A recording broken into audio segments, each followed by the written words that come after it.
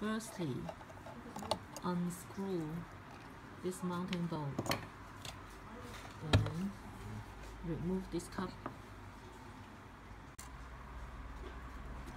Okay, unscrew the four mounting bolts from the battery box.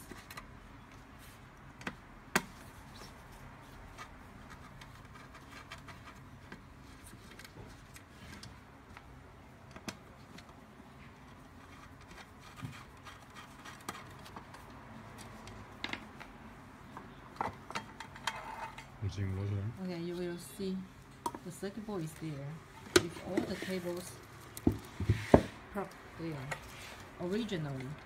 Okay. 啲线穿翻晒过你咪喺后边，咁佢分翻左右得噶。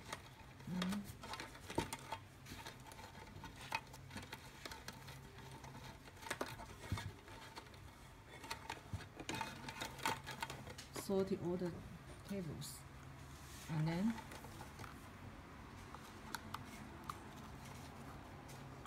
Plug in back the cables.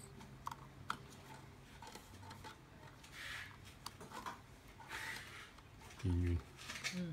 So before you remove the old cables, you had better take a picture to remind the positions, each position, each port positions